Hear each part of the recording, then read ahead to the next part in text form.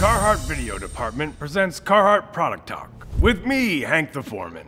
Today we're talking underwear. And between you and me, our first few prototypes were perhaps a little over the top. Like the Brown Duck Briefs, also known as the BO1Ds. They had a lifetime guarantee. Then we realized that's just gross. Then there was the Tool Belt Jockstrap, built for when you can't find your pants, or something like that. I don't know, it didn't work out.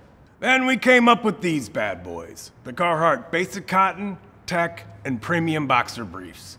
This one's made with cotton, these two have Carhartt Force.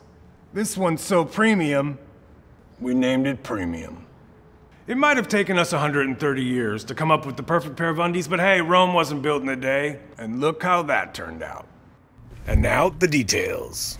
Introducing the Carhartt Premium Boxer Brief. Like the name implies, this is our most premium boxer brief. Extremely soft and smooth surface keeps you feeling your best all day long.